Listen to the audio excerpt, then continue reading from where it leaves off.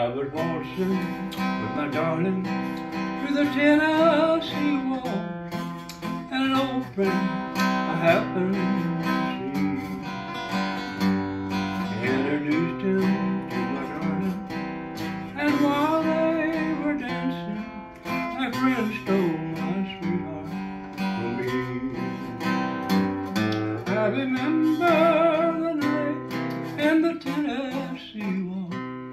Only you know how much I have lost. I lost my darling the night they were playing